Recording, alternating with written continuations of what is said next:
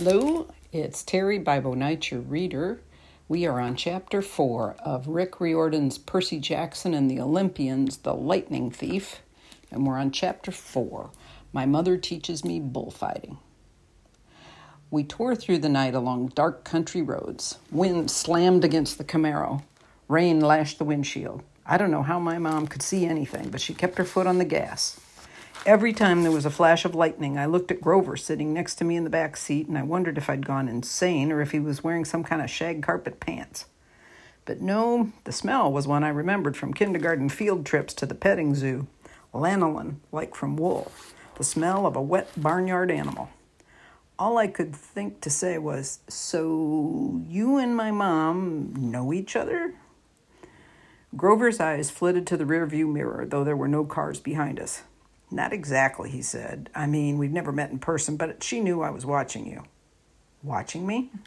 Keeping tabs on you, making sure you were okay. But I wasn't faking being your friend, he added hastily. I am your friend. Um, what are you exactly? That doesn't matter right now. It doesn't matter. From the waist down, my best friend is a donkey. Grover let out a sharp, throaty, I'd heard him make that sound before, but I'd always assumed it was a nervous laugh. Now I realized it was more of an irritated bleat. Goat, he cried. What? I'm a goat from the waist down.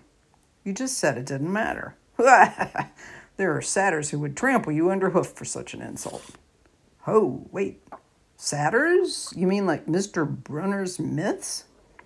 Were those old ladies at the fruit stand a myth, Percy? Was Mrs. Dodds a myth? So you admit there's a Mrs. Dodds? Of course. Then why, the less you knew, the fewer monsters you'd attract, Grover said, like that should be perfectly obvious. We put mist over the human's eyes. We hoped you'd think the kindly one was a hallucination, but it was no good. You started to realize who you are. Who I. Wait a minute. What do you mean? The weird bellowing noise rose up again somewhere behind us, closer than before. Whatever was chasing us was still on our trail. Percy, my mom said, there's too much to explain and not enough time. We have to get you to safety. Safety from what? Who's after me? Oh, nobody much, Grover said, obviously still miffed about the donkey comment. Just the Lord of the Dead and a few of his bloodthirstiest minions. Grover. Sorry, Mrs. Jackson. Could you drive faster, please? I tried to wrap my mind around what was happening, but I couldn't do it. I knew this wasn't a dream. I had no imagination. I could never dream up something this weird. My mom made a hard left. We swerved onto a narrower road, racing past darkened farmhouses and wooded hills and pick your own strawberry signs on white picket fences. Where are we going? I asked. The summer camp I told you about. My mother's voice was tight. She was trying, for my sake, not to be scared. The place your father wanted to send you. The place you didn't want me to go. Please, my dear, Mother begged. This is hard enough. Try to understand. You're in danger. Because some old ladies cut yarn? Those weren't old ladies, Grover said. Those were the fates. Do you know what it means? The fact they appeared in front of you? They only do that when you're about to. when someone's about to die. Whoa, you said you. No, I didn't. I said someone. You meant you, as in me. I meant you, like someone, not you, you. Boys, my mom said. She pulled the wheel hard to the right, and I got a glimpse of a figure she'd swerved to avoid, a dark, fluttering shape now lost behind us in the storm. What was that? I asked. We're almost there, my mother said, ignoring my question. Another mile. Please, please, please. I didn't know where there was, but I found myself leaning forward in the car, anticipating, wanting us to arrive. Outside, nothing but rain and darkness, the kind of empty countryside you get way out on the tip of Long Island. I thought about Mrs. Dodds and the moment when she'd changed into the thing with pointed teeth and leathery wings. My limbs went numb from delayed shock. She really hadn't been human. She meant to kill me. Then I thought about Mr. Brunner and the sword he'd thrown me. Back before I could ask Grover about that, the hair rose on the back of my neck. There was a blinding flash, a jaw rattling boom, and our car exploded. I remember feeling weightless, like I was being crushed, fried, and hosed down all at the same time. I peeled my forehead off the back of the driver's seat and said, Ow! Percy, my mom shouted. I'm okay. I tried to shake off the daze. I wasn't dead. The car hadn't really exploded. We'd swerved into a ditch. Our driver's side doors were wedged in the mud. The roof had cracked open like an eggshell, and rain was pouring in. Lightning. That was the only explanation. We'd been blasted right off the road. Next to me in the back seat was a big, motionless lump. Grover! He was slumped over, blood trickling from the side of his mouth. I shook his furry hip, thinking, No. Even if you are half barnyard animal, you're my best friend, and I don't want you to die. Then he groaned. Food. And I knew there was hope. Percy, my mother said, we have to. Her voice faltered. I looked back. In a flash of lightning through the mud spattered rear, rear windshield, I saw a figure lumbering toward us on the shoulder of the road. The sight of it made my skin crawl. It was a dark silhouette of a huge guy like a football player. He seemed to be holding a blanket over his head. His top half was bulky and fuzzy. His upraised hands made it look like he had horns. I swallowed hard. Who is Percy? My mother said, deadly serious. Get out of the car. My mother threw herself against the driver's side door. It was jammed shut in the mud. I tried mine. Stuck too. I looked up desperately at the hole in the roof. It might have been an exit, but the edges were sizzling and smoking. Climb out the passenger's side, my mother told me. Percy, you have to run. Do you see that big tree? What? Another flash of lightning, and through the smoking hole in the roof, I saw the tree she meant a huge White House Christmas tree sized pine at the crest of the nearest hill. That's the property line, my mom said. Get over that hill and you'll see a big farmhouse down in the valley. Run and don't look back. Yell for help. Don't stop until you reach the door. Mom, you're coming too. Her face was pale, her eyes as sad as when she looked at the ocean. No, I shouted, you are coming with me. Help me carry Grover. Food, Grover moaned a little louder. The man with the blanket on his head kept coming toward us, making his grunting, snorting noises. As he got closer, I realized he couldn't be holding a blanket over his head because his hands, huge, meaty hands, were swinging at his sides. There was no blanket, meaning the bulky, fuzzy mass that was too big to be his head was his head.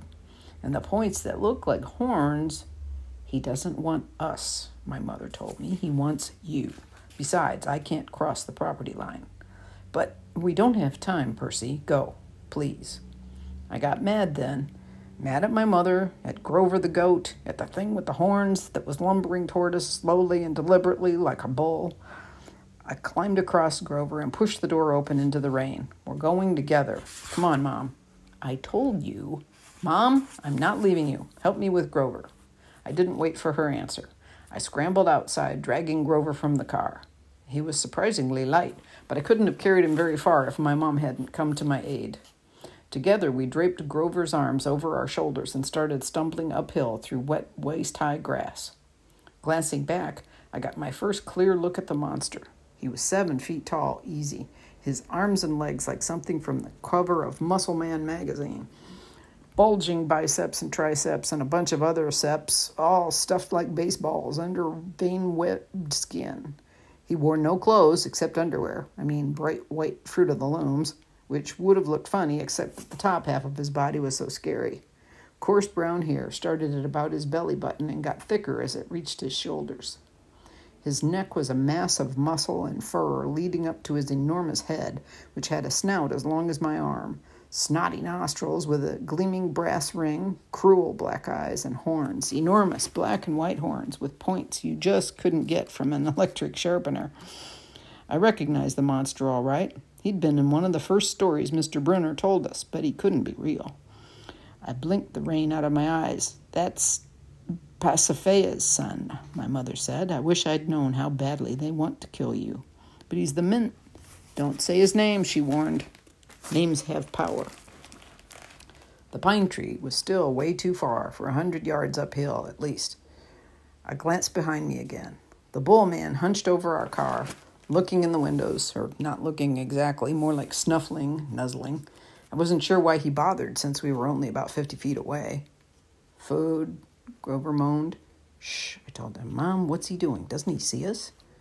His sight and hearing are terrible, she said. He goes by smell, but he'll figure out where we are soon enough. As if on cue, the bull man bellowed in rage. He picked up Gabe's Camaro by the torn roof, the chassis creaking and groaning. He raised the car over his head and threw it down the road. It slammed into the wet asphalt and skidded in a shower of sparks for about half a mile before coming to a stop. Then the gas tank exploded. Not a scratch, I remember Gabe saying. Oops. Percy, my mom said, when he sees us, he'll charge.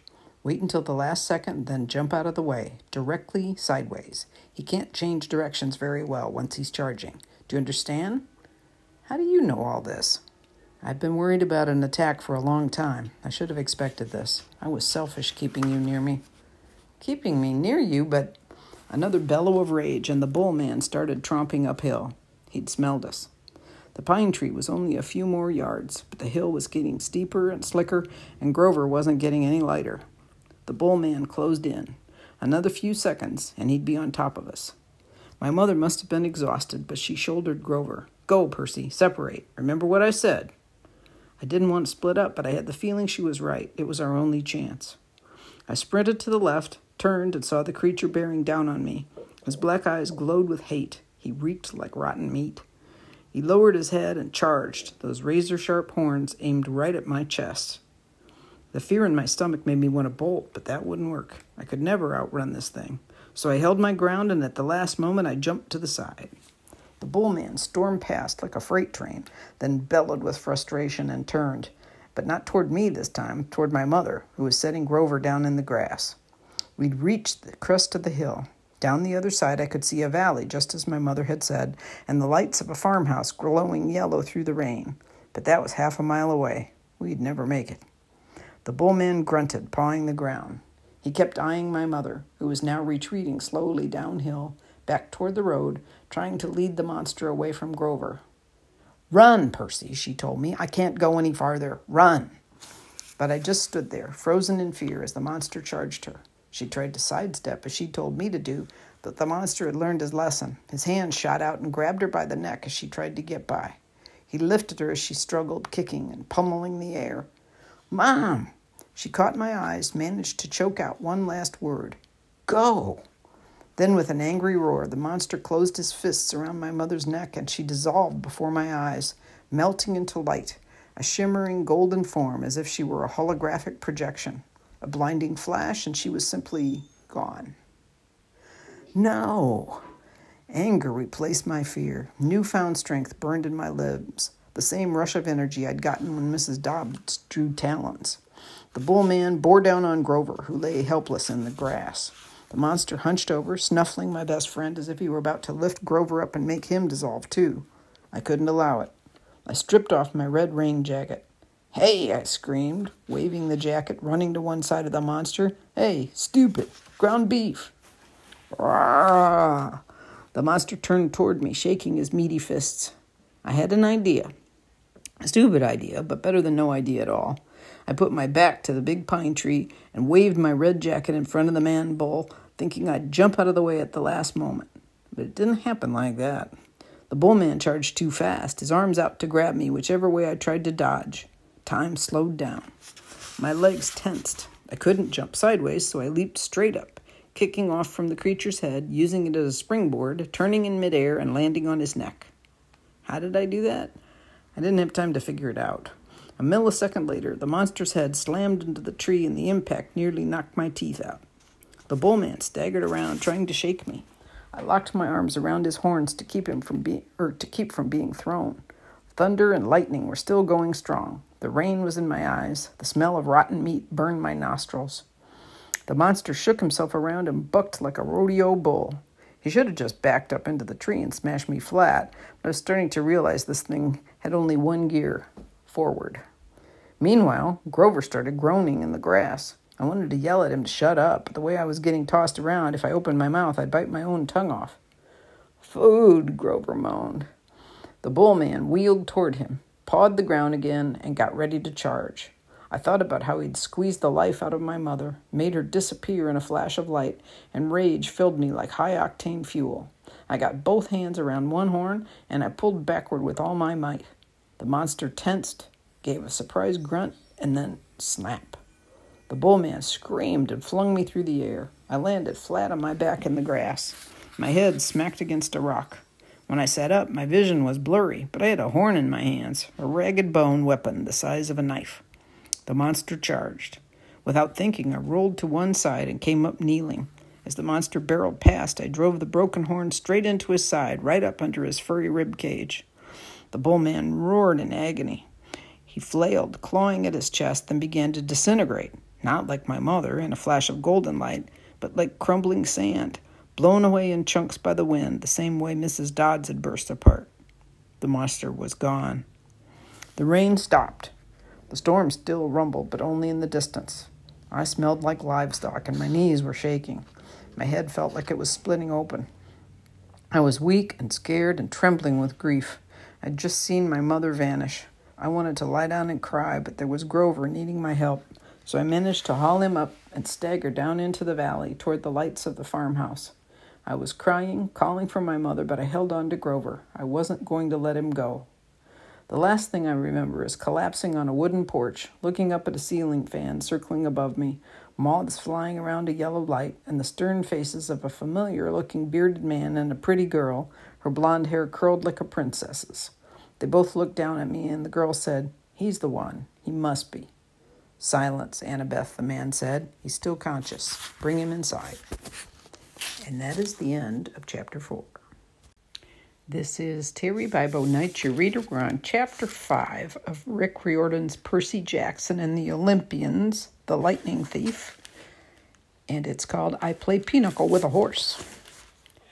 I had weird dreams full of barnyard animals. Most of them wanted to kill me, and the rest wanted food.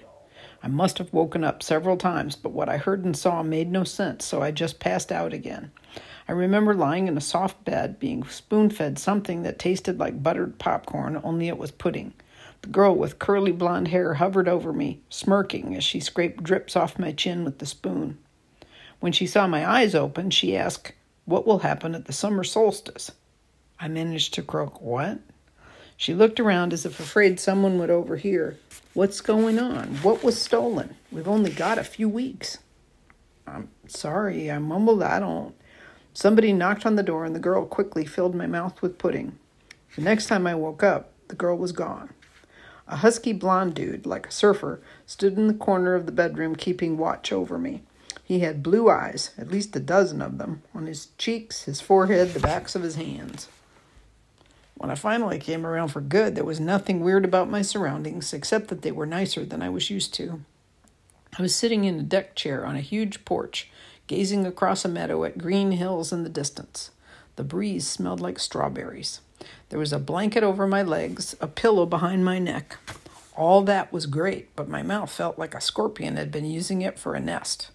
My tongue was dry and nasty, and every one of my teeth hurt. On the table next to me was a tall drink. It looked like iced apple juice with a green straw and a paper parasol stuck through a maraschino cherry. My hand was so weak I almost dropped the glass once I got my fingers around it. Careful, a familiar voice said. Grover was leaning against the porch railing, looking like he hadn't slept in a week. Under one arm, he cradled a shoebox. He was wearing blue jeans, Converse high tops, and a bright orange t shirt that said Camp Half Blood. Just plain old Grover, not the goat boy.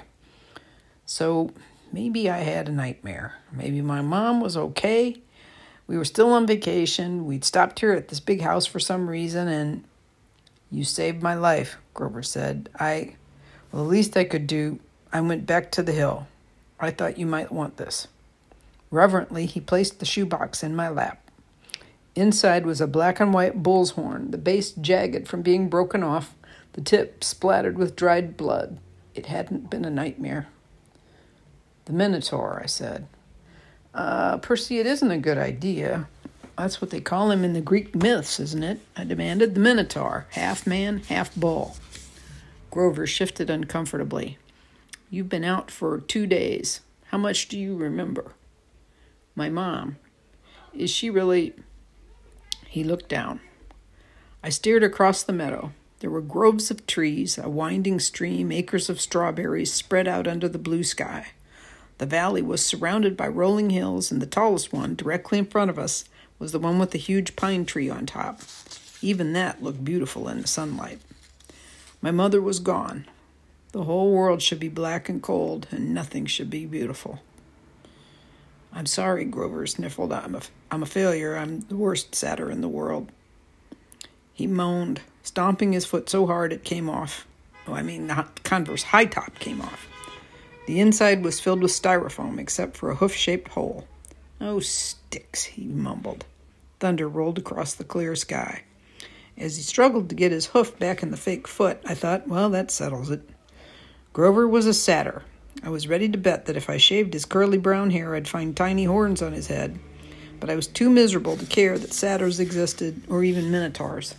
All that meant was my mom really had been squeezed into nothingness, and dissolved into yellow light.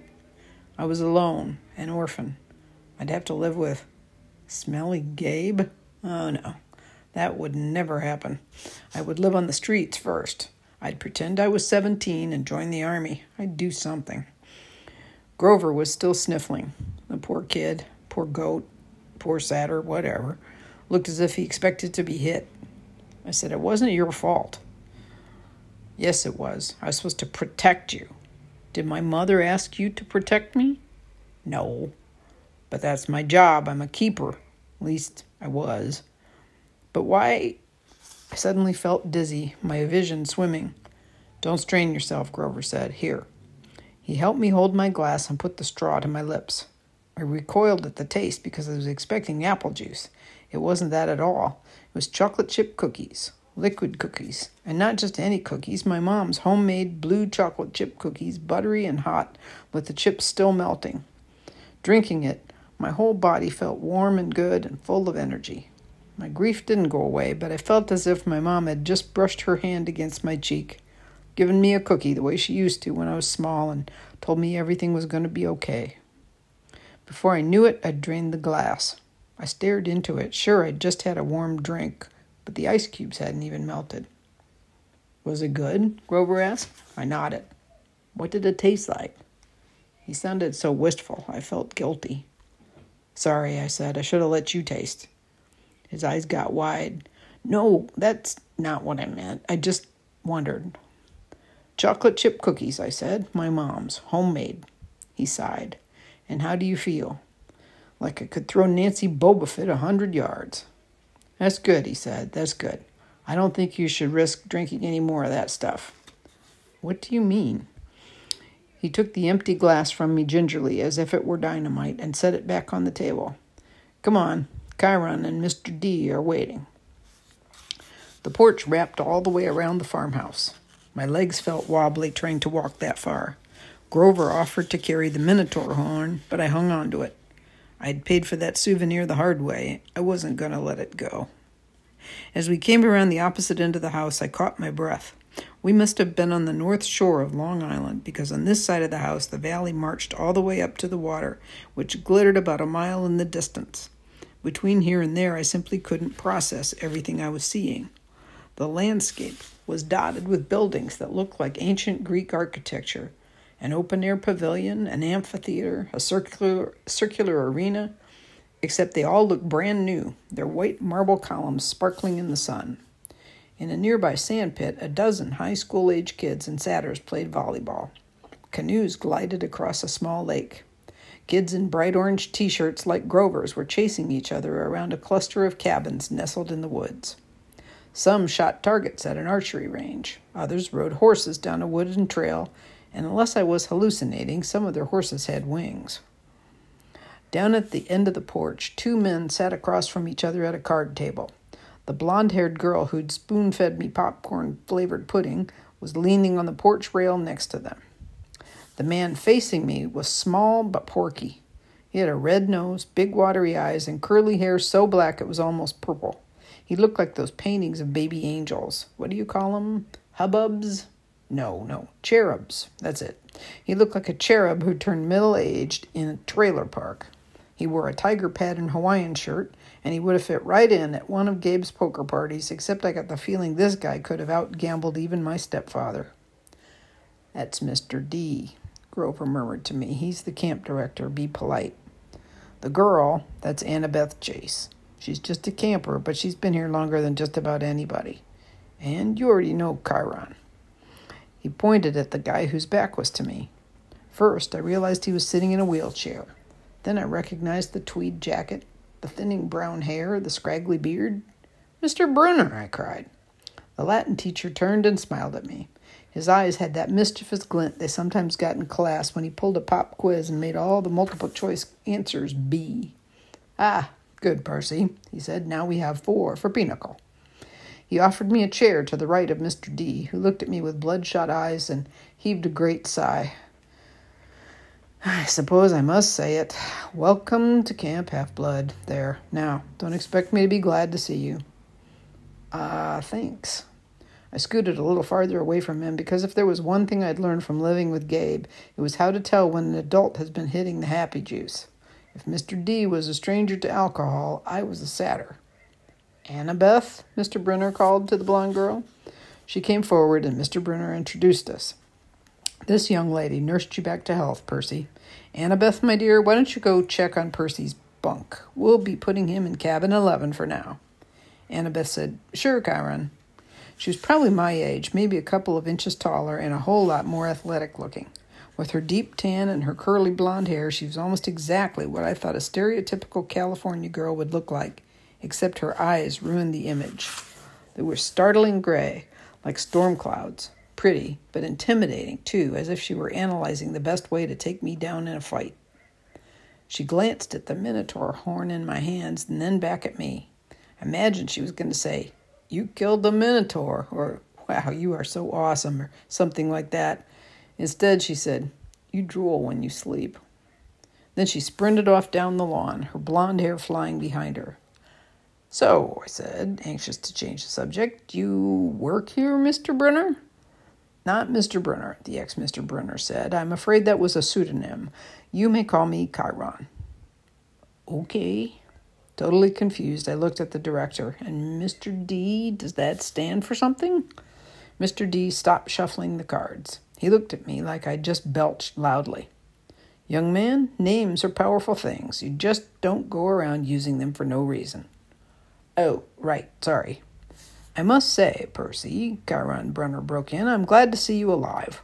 It's been a long time since I made a house call to a potential camper. I'd hate to think I've wasted my time. House call? My year at Yancey Academy to instruct you. We have satyrs at most schools, of course, keeping a lookout, but Grover alerted me as soon as he met you. He sensed you were something special, so I decided to come upstate. I convinced the other Latin teacher to mm, take a leave of absence. I tried to remember the beginning of the school year. It seemed like so long ago, but I did have a fuzzy memory of there being another Latin teacher my first week at Yancey. Then, without explanation, he disappeared, and Mr. Brunner had taken the class. You came to Yancey just to teach me? I asked. Chiron nodded. Honestly, I wasn't sure about you at first. We contacted your mother, let her know we were keeping an eye on you in case you were ready for Camp Half Blood. But you still had so much to learn. Nevertheless, you made it here alive, and that's always the first test. Grover, Mr. D said impatiently, are you playing or not? Ah, uh, yes, sir. Grover trembled as he took the fourth chair, though he didn't know why he should be so afraid of a pudgy little man in a tiger print Hawaiian shirt. You do know how to play pinochle. Mr. D eyed me suspiciously. I'm afraid not, I said. I'm afraid not, sir, he said. Sir, I repeated. I was liking the camp director less and less. Well, he told me, it is, along with gladiator fighting and Pac Man, one of the greatest games ever invented by humans. I would expect all civilized young men to know the rules. I'm sure the boy can learn, Chiron said. Please, I said, what is this place? What am I doing here? Mr. Run Chiron, why would you go to Yancey Academy just to teach me? Mr. D snorted. I asked the same question. The camp director dealt the cards. Grover flinched every time one landed in his pile. Chiron smiled at me sympathetically, the way he used to in Latin class, as if to let me know, no matter what my average was, I was his star student. He expected me to have the right answer. Percy, he said, did your mother tell you nothing? She said, I remembered her sad eyes looking out over the sea. She told me she was afraid to send me here, even though my father had wanted her to. She said that once I was here, I probably couldn't leave. She wanted to keep me close to her. Typical, Mr. D said. That's how they usually get killed. Young man, are you bidding or not? What? I asked. He explained impatiently how you bid in Pinochle, and so I did. I'm afraid there's too much to tell, Chiron said. I'm afraid our usual orientation film won't be sufficient. Orientation film? I said. No, Chiron said. Well, Percy, you know your friend Grover is a satyr. You know, he pointed to the horn in the shoebox, that you have killed the Minotaur. No small feat either, lad. But you may not know is that great powers are at work in your life. Gods, the forces you call the Greek gods, are very much alive. I stared at the others around the table. I waited for somebody to yell, Not! But all I got was Mr. D yelling, Oh, a royal marriage! Trick, trick! he cackled as he tallied up his points. Mr. D, Grover asked timidly, if you're not going to eat it, could I have your Diet Coke can? Eh? Oh, all right. Grover bit a huge shard out of the empty aluminum can and chewed it mournfully. Wait, I told Chiron, you're telling me there's such a thing as God? Well, now, God, capital G, God, that's a different matter altogether. We won't deal with the metaphysical. Metaphysical? But you were just talking about, ah, gods, plural, as in great beings that control the forces of nature and human endeavors, the immortal gods of Olympus. That's a smaller matter. Smaller? Yes, quite the gods we discussed in Latin class. Zeus, I said, Hera, Apollo, you mean them. And there it was again, distant thunder on a cloudless day. Young man, said Mr. D, I would really be less casual about throwing those names around if I were you. But they're stories, I said. They're myths to explain lightning and the seasons and stuff. They're what people believed before there was science. Science, Mr. D scoffed. And tell me, Perseus Jackson, I flinched when he said my real name, which I never told anybody. What will people think of your science 2,000 years from now? Mr. D continued, hmm, they will call it primitive mumbo jumbo. That's what. Oh, I love mortals. They have absolutely no sense of perspective. They think they've come so far. And have they, Chiron? Look at this boy and tell me. I wasn't liking Mr. D much, but there was something about the way he called me mortal, as if he wasn't. It was enough to put a lump in my throat to suggest why Grover was dutifully minding his cards, chewing his soda can, and keeping his mouth shut. Percy, Chiron said, you may choose to believe or not, but the fact is that immortal means immortal. Can you imagine that for a moment? Never dying, never fading, existing just as you are for all time? I was about to answer off the top of my head that it sounded like a pretty good deal, but the tone of Chiron's voice made me hesitate. You mean whether people believed in you or not, I said. Exactly, Chiron agreed. If you were a god, how would you like being called a myth? An old story to explain lightning? What if I told you, Perseus Jackson, that someday people would call you a myth, just created to explain how little boys can get over losing their mothers? My heart pounded. He was trying to make me angry for some reason, but I wasn't going to let him. I said, I wouldn't like it, but I don't believe in gods. Oh, you better, Mr. D murmured, before one of them incinerates you. Grover said, Please, sir, he just lost his mother. He's in shock. A lucky thing, too, Mr. D grumbled, playing a card. Bad enough I'm confined to this miserable job, working with boys who don't even believe. He waved his hand, and a goblet appeared on the table, as if the sunlight had bent momentarily and woven the air into glass. The goblet filled itself with red wine. My jaw dropped, but Chiron hardly looked up. Mr. D, he warned, you restrictions. Mr. D looked at the wine and feigned surprise. Dear me. He looked at the sky and yelled, Old habits, sorry. More thunder.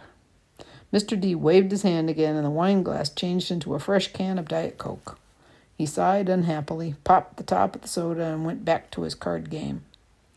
Chiron winked at me. Mr. D offended his father a while back, took a fancy to a wood nymph who had been declared off limits.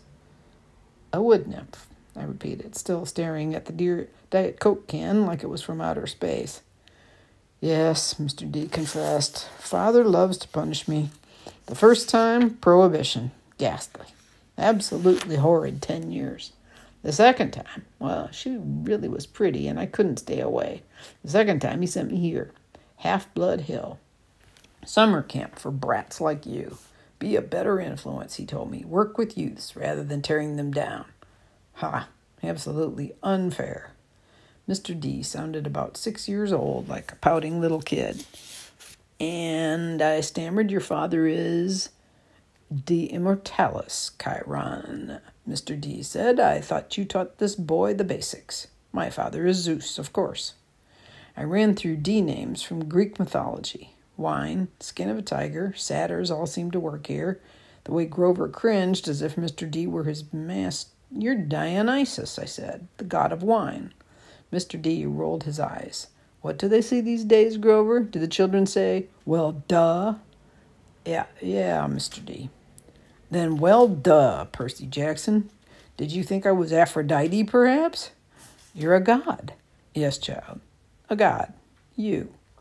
He turned to look at me straight on, and I saw a kind of purplish fire in his eyes, a hint that this whiny, plump little man was only showing me the tiniest bit of his true nature.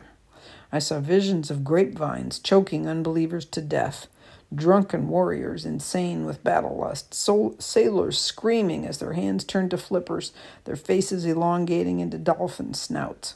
I knew that if I pushed him, Mr. D would show me worse things. He would plant a disease in my brain that would leave me wearing a straitjacket in a rubber room for the rest of my life. Would you like to test me, child? he said quietly. No, no, sir. The fire died a little. He turned back to his card game. I believe I win. Not quite, Mr. D, Chiron said. He set down a straight, tallied the points, and said, The game goes to me. I thought Mr. D was going to vaporize Chiron right out of his wheelchair, but he just sighed through his nose as if he were used to being beaten by the Latin teacher. He got up, and Grover rose too. I'm tired, Mr. D said. I believe I'll take a nap before the sing along tonight. But first, Grover, we need to talk again about your less than perfect performance on this assignment. Grover's face beaded with sweat. yes, sir. Mr. D turned to me. Cabin 11, Percy Jackson, and mind your manners. He swept into the farmhouse, Grover following miserably. Will Grover be okay? I asked Chiron. Chiron nodded, though he looked a bit troubled. Old Dionysus isn't really mad. He just hates his job. He's been grounded, I guess you would say, and he can't stand waiting another century before he's allowed to go back to Olympus. Mount Olympus, I said. You're telling me there really is a palace there? Well, now there's Mount Olympus in Greece, and then there's the home of the gods, the convergence point of their powers, which did indeed used to be on Mount Olympus. It's still called Mount Olympus out of respect to the old ways, but the palace moves, Percy, just as the gods do. You mean the Greek gods are here, like in America? Well, certainly. The gods move with the heart of the West. The what Come now, Percy, what you call Western civilization. Do you think that's just an abstract concept? No, it's a living force, a collective consciousness that has burned bright for thousands of years. The gods are part of it. You might even say they're the source of it, or at least they are tied so tightly to it that they couldn't possibly fade, not unless all of Western civilization were obliterated. The fire started in Greece, then, as you well know, or as I hope you know, since you passed my course, the heart of the fire moved to Rome, and so did the gods. Different names, perhaps Jupiter for Zeus, Venus for Aphrodite, so forth, but the same forces, the same gods. And then they died. Died? No. Did the West die? The gods simply moved to Germany, to France, to Spain for a while. Wherever the flame was brightest, the gods were there. They spent several centuries in England. All you need to do is look at the architecture. People do not forget the gods. Every place they've ruled for the last 3,000 years, you can see them in paintings, in statues, on the most important buildings. And yes, Percy, of course, they are now in your United States. Look at your symbol, the eagle of Zeus. Look at the statue of Prometheus in Rockefeller Center, the Greek facades of your government buildings in Washington. I defy you to find any American city where the Olympians are not prominently displayed in multiple places. Like it or not, and believe me, plenty of people weren't very fond of Rome either. America is now the heart of the flame. It's the great power of the West, and so Olympus is here, and we are here. It was all too much, especially the fact that I seemed to be included in Chiron's we as if I were part of some club. Who are you, Chiron? Who, who am I? Chiron smiled. He shifted his weight as if he were going to get up out of his wheelchair, but I knew that was impossible. He was paralyzed from the waist down. Who are you? he mused. Well, that's the question we all want answered, isn't it? But for now, we should get you a bank, a bunk in cabin 11. There'll be new friends to meet and plenty of time for lessons tomorrow. Besides, there will be s'mores at the campfire tonight, and I simply adore chocolate. And then he did rise from his wheelchair, but there was something odd about the way he did it. His blanket fell away from his legs, but the legs didn't move. His waist kept getting longer, rising above his belt. At first, I thought he was wearing very long white velvet underwear, but as he kept rising out of the chair, taller than any man, I realized that the velvet underwear wasn't underwear. It was the front of an animal, muscle and sinew under coarse white fur. And the wheelchair wasn't a chair, it was some kind of container, an enormous box on wheels, and it must have been magic because there's no way it could have held all of him. A leg came out, long and knobby kneed, with a huge polished hoof. Then another front leg, then hindquarters. And then the box was empty, nothing but a metal shell with a couple of fake human legs attached. I stared at the horse who had just sprung from the wheelchair, a huge white stallion. But where its neck should be was the upper body of my Latin teacher, smoothly grafted to the horse's trunk. What a relief, the centaur said. I'd been cooped up in there so long my fetlocks had fallen asleep. Now come, Percy Jackson, let's meet the other campers. And that is the end of chapter 5. We're on chapter 6. I become Supreme Lord of the Bathroom which is a part of Rick Riordan's Percy Jackson series called The Lightning Thief. And I'm Terry Bible Knight, your reader. Once I got over the fact that my Latin teacher was a horse, we had a nice tour, though I was careful not to walk behind him. I'd done pooper scooper patrol in the Macy's Thanksgiving Day parade a few times, and I'm sorry, I did not trust Chiron's back end the way I trusted the front. We passed the volleyball pit. Several of the campers nudged each other. One pointed to the Minotaur horn I was carrying. Another said, That's him. Most of the campers were older than me. Their satyr friends were bigger than Grover, all of them trotting around in orange Camp Half Blood t shirts with nothing else to cover their bare, shaggy hindquarters. I wasn't normally shy, but the way they stared at me made me uncomfortable. I felt like they were expecting me to do a flip or something. I looked back at the farmhouse. It was a lot bigger than I realized four stories tall, sky blue with white trim like an upscale seaside resort. I was checking out the brass eagle weather vane on top when something caught my eye a shadow in the uppermost window of the attic gable. Something had moved the curtain just for a second, and I got the distinct impression I was being watched. What's up there? I asked Chiron. He looked where I was pointing, and his smile faded.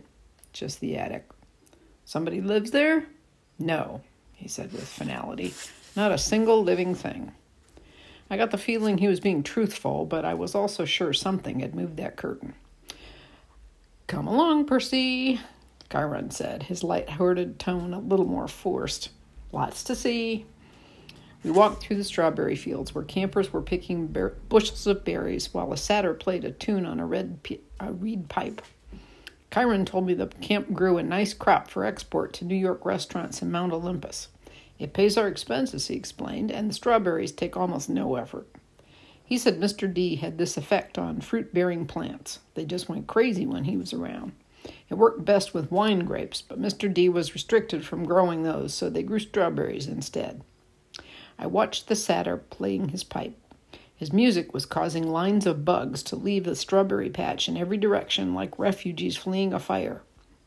I wondered if Grover could work that kind of magic with music. I wondered if he was still inside the farmhouse getting chewed out by Mr. D. Grover won't get in too much trouble, will he? I asked Chiron. I mean, He was a good protector, really. Chiron sighed. He shed his tweed jacket and draped it over his horse's back like a saddle. Grover has big dreams, Percy, perhaps bigger than are reasonable.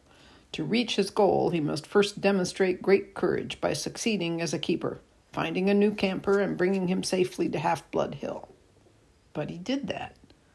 I might agree with you, Chiron said, but it is not my place to judge. Dionysus and the Council of Cloven Elders must decide. I'm afraid they may not see this assignment as a success. After all, Grover lost you in New York. Then there's the unfortunate uh, fate of your mother, and the fact that Grover was unconscious when you dragged him over the property line.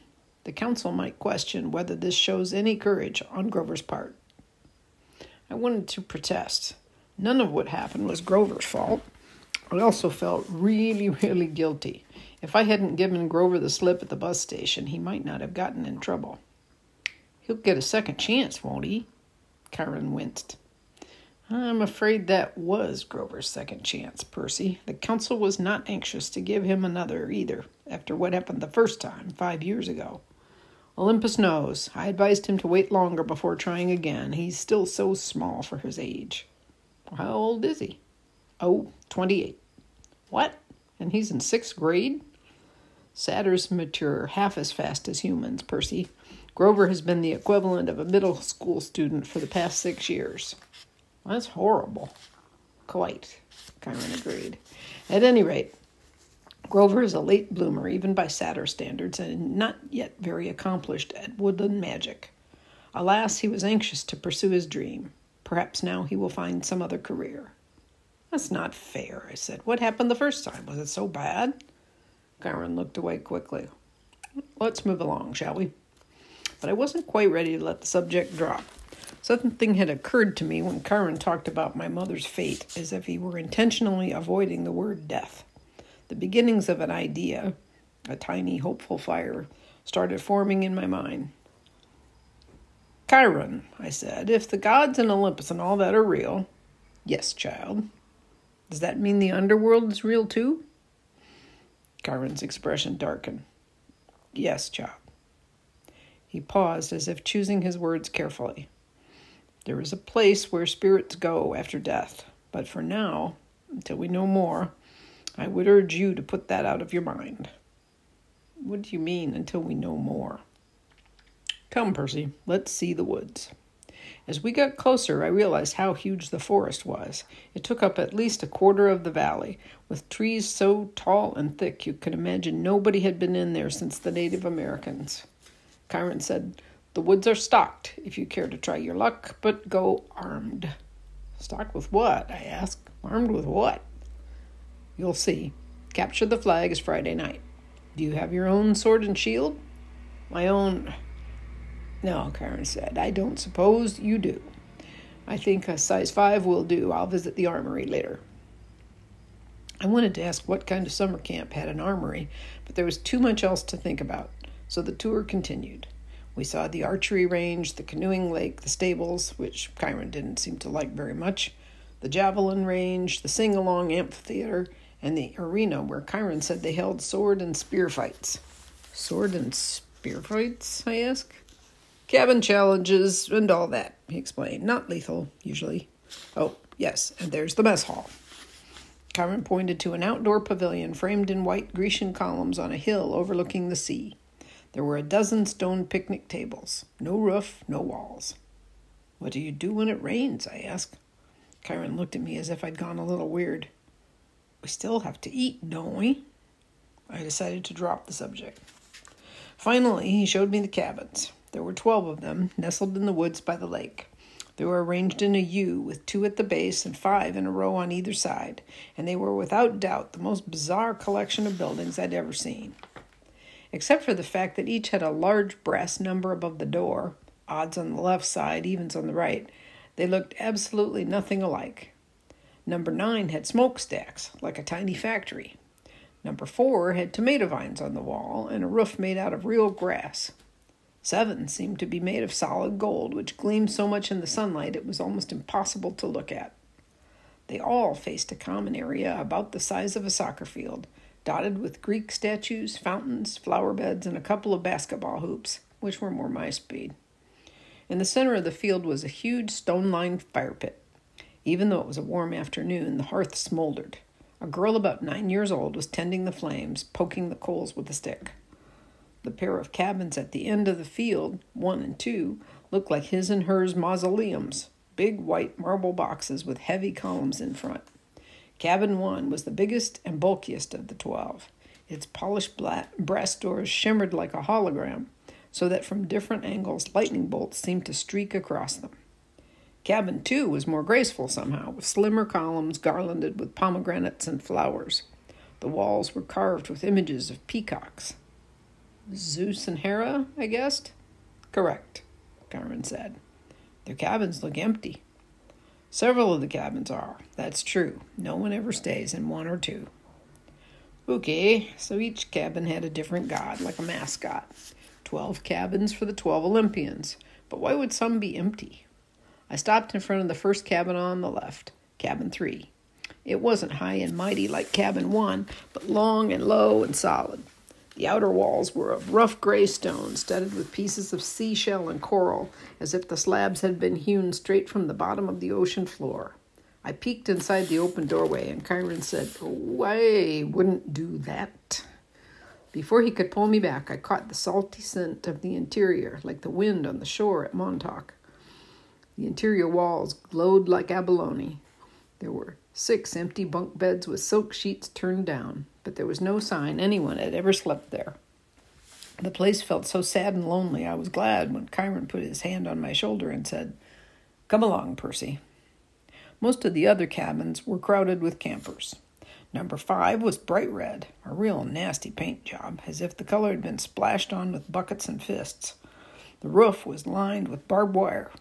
A stuffed wild boar's head hung over the doorway, and its eyes seemed to follow me. Inside, I could see a bunch of mean looking kids, both girls and boys, arm wrestling and arguing with each other while rock music blared. The loudest was a girl, maybe 13 or 14. She wore a size XXXL Camp Half Blood t shirt under a camouflage jacket. She zeroed in on me and gave me an evil sneer. She reminded me of Nancy Bobofit, though the camper girl was as much bigger and tougher looking, and her hair was long and stringy and brown instead of red. I kept walking, trying to stay clear of Chiron's hooves. We haven't seen any other centaurs, I observed. No, said Chiron sadly. My kinsmen are a wild and barbaric folk, I'm afraid. You might encounter them in the wilderness or at a major, major sporting event, but you won't see any here. You said your name was Chiron. Are you really? He smiled down at me. The Chiron from the stories, trainer of Hercules and all that? Yes, Percy, I am. But shouldn't you be dead? Chiron paused as if the question intrigued him. I honestly don't know about should be. The truth is, I can't be dead. You see, eons ago, the gods granted my wish. I could continue the work I loved. I could be a teacher of heroes as long as humanity needed me. I gained much from that wish, and I gave up much. But I'm still here, so I can only assume I'm still needed. I thought about being a teacher for 3,000 years. Wouldn't have made my top 10 things to wish for list. Doesn't it ever get boring? No, no, he said. Horribly depressing at times, but never boring. Why depressing? Chiron seemed to turn hard of hearing again. Ah, oh, look, he said. Annabeth is waiting for us. The blonde girl I'd met at the big house was reading a book in front of the last cabin on the left, number 11. When we reached her, she looked me over critically, like she was still thinking about how much I drooled. I tried to see what she was reading, but I couldn't make out the title. I thought my dyslexia was acting up. Then I realized the title wasn't even English. The letters looked Greek to me. I mean, literally Greek. There were pictures of temples and statues and different kinds of columns, like those in an architecture book. Annabeth, Chiron said, I have master's archery class at noon. Would you take Percy from here? Yes, sir. Cabin 11, Chiron told me, gesturing toward the doorway. Make yourself at home. Out of all the cabins, 11 looked the most like a regular old summer camp cabin, with the emphasis on old. The threshold was worn down, the brown paint peeling. Over the door was one of those doctor symbols, a winged pole with two snakes wrapped around it. What did they call that thing? A, a caduceus. Inside it was packed with people, both boys and girls, way more than the number of bunk beds. Sleeping bags were spread all over on the floor. It looked like a gym where the Red Cross had set up an evacuation center. Chiron didn't go in. The door was too low for him. But when the campers saw him, they all stood and bowed respectfully. Well, then, Chiron said, Good luck, Percy. I'll see you at dinner. Galloped away toward the archery range. I stood in the doorway looking at the kids. They weren't bowing anymore. They were staring at me, sizing me up. I knew this routine. I'd gone through it at enough schools. Well, Annabeth prompted, go on. So naturally, I tripped coming in the door and made a total fool of myself. There were some snickers from the campers, but none of them said anything. Annabeth announced, Percy Jackson, meet cabin 11. Regular or undetermined? Somebody asked. I didn't know what to say, but Annabeth said, undetermined. Everybody groaned. A guy who was a little older than the rest came forward. Now, now, campers, that's what we're here for. Welcome, Percy. You can have that spot on the floor right over there. The guy was about 19 and he looked pretty cool. He was tall and muscular with short cropped sandy hair and a friendly smile. He wore an orange tank top, cut off sandals, and a leather necklace with five different colored clay beads. The only thing unsettling about his appearance was a thick white scar that ran from just beneath his right eye to his jaw, like an old knife slash. This is Luke, Annabeth said, and her voice sounded different somehow. I glanced over and could have sworn she was blushing. She saw me looking, and her expression hardened again. He's your counselor for now. For now? I ask. You're undetermined, Luke explained patiently. They don't know what cabin to put you in, so you're here. Cabin 11 takes all newcomers, all visitors. Naturally, we would. Hermes, our patron, is the god of travelers. I looked at the tiny section of floor they'd given me. I had nothing to put there to mark it as my own no luggage, no clothes, no sleeping bag. Just the Minotaur's harm. I thought about setting that down, but then I remembered that Hermes was also the god of thieves. I looked around at the campers' faces, some sullen and suspicious, some grinning stupidly, some eyeing me as if they were waiting for a chance to pick my pockets. How long will I be here? I asked. Good question, Luke said, until you're determined. How long will that take? The campers all laughed. Come on, Annabeth told me. I'll show you the volleyball court. I've already seen it. Come on. She grabbed my wrist and dragged me outside. I could hear the kids of cabin 11 laughing behind me. When we were a few feet away, Annabeth said, Jackson, you have to do better than that. What? She rolled her eyes and mumbled under her breath, I can't believe I thought you were the one. What's your problem? I was getting angry now. All I know is I kill some bull guy. Don't talk like that, Annabeth said. You know how many kids at this camp wish they'd had your chance? To get killed? To fight the Minotaur. What do you think we trained for? I shook my head. Look, if the thing I fought really was the Minotaur, the same one in the stories, yes, then there's only one. Yes. And he died like a gajillion years ago, right? Theseus killed him in the labyrinth, so monsters don't die, Percy. They can't be killed, but they can't die. Oh, thanks. That clears it up. Well, they don't have souls like you and me. You can dispel them for a while, maybe even for a whole lifetime if you're lucky, but they are primal forces. Chiron calls them archetypes. Eventually, they reform. I thought about Mrs. Dodds. You mean if I killed one accidentally with a sword, the fur, I mean, your math teacher, that's right. She's still out there. You just made her very, very mad. How did you know about Mrs. Dodds? You talk in your sleep. You almost called her something. A fury? They're Hades torturers, right? Annabeth glanced nervously at the ground as if she expected it to open up and swallow her. Shouldn't call them by name, even here. We call them the kindly ones, if we have to speak of them at all. Look, is there anything we can say without it thundering? I sounded whiny even to myself, but right then I didn't care. Why do I have to stay in cabin 11 anyway? Why is everybody so crowded together? There are plenty of empty bunks right over there. I pointed to the first few cabins, and Annabeth turned pale. You don't just choose a cabin, Percy. It depends on who your parents are or your parent. She stared at me, waiting for me to get it. My mom is Sally Jackson, I said. She works at the candy store in Grand Central Station. At least she used to. I'm sorry about your mom, Percy, but that's not what I mean. I'm talking about your other parent, your dad. He's dead. I never knew him. Annabeth sighed. Clearly, she'd had this conversation before with other kids. Your father's not dead, Percy. How can you say that? How, how do you know him? No, of course not.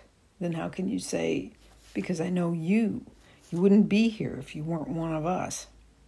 You don't know anything about me. No. She raised an eyebrow. I bet you moved around from school to school. I bet you were kicked out of a lot of them. How?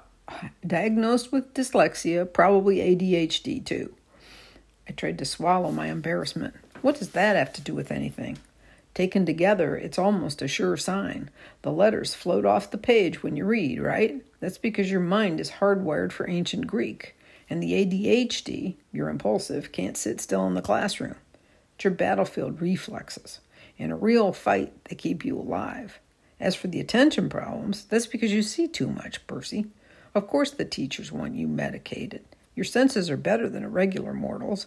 Most of them are monsters. They don't want you seeing them for what they are. You sound like you went through the same thing. Most of the kids here did. If you weren't like us, you couldn't have survived the Minotaur, much less the ambrosia and nectar. Ambrosia and nectar? The food and drink we were giving you to make you better. That stuff would have killed a normal kid. It would have turned your blood to fire and your bones to sand, and you'd be dead. Face it, you're a half blood. A half blood.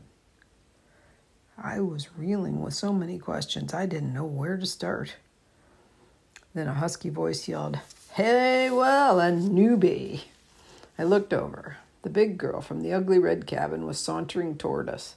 She had three other girls behind her, all big and ugly and mean looking like her, all wearing camo jackets. Clarisse. Annabeth sighed. Why don't you go polish your spear or something? Sure, Miss Princess, the big girl said, so I can run you through with it Friday night. Erre es korakas, Annabeth said, which I somehow understood was Greek for go to the crows but a feeling it was a worse curse than it sounded. You don't stand a chance. We'll pulverize you, Clarisse said, but her eye twitched. Perhaps she wasn't sure she could follow through on the threat. She turned toward me. Who's this little runt? Percy Jackson, Annabeth said. Mate Clarisse, daughter of Ares.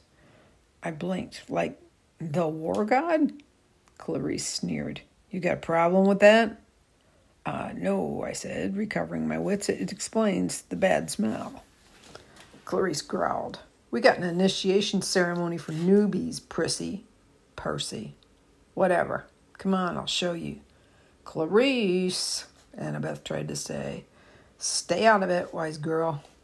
Annabeth looked pained, but she did stay out of it, and I didn't really want her help. I was the new kid. I had to earn my own rep. I handed Annabeth my minotaur horn and got ready to fight, but before I knew it, Clarisse had me by the neck and was dragging me toward a cinder block building that I knew immediately was the bathroom. I was kicking and punching. I'd been in plenty of fights before, but this big girl, Clarisse, had hands like iron. She dragged me into the girls' bathroom. There was a line of toilets on one side and a line of shower stalls down the other smelled just like any public bathroom, and I was thinking, as much as I could think, with Clarisse ripping my hair out, that if this place belonged to the gods, they should have been able to afford classier Johns. Clarisse's friends were all laughing, and I was trying to find the strength I'd used to fight the Minotaur, but it just wasn't there. Like he's big three material, Clarisse said as she pushed me toward one of the toilets. Yeah, right. Minotaur probably fell over laughing. He was so stupid looking. Her friends snickered. Annabeth stood in the corner, watching through her fingers. Clarisse bent me over on my knees and started pushing my head toward the toilet bowl. It reeked like rusted pipes and, well, what goes into toilets. I strained to keep my head up. I was looking at the scummy water thinking, I will not go into that. I won't. Then something happened. I felt a tug in the pit of my stomach. I heard the plumbing rumble, the pipes shudder. Clarisse's grip on my hair loosened.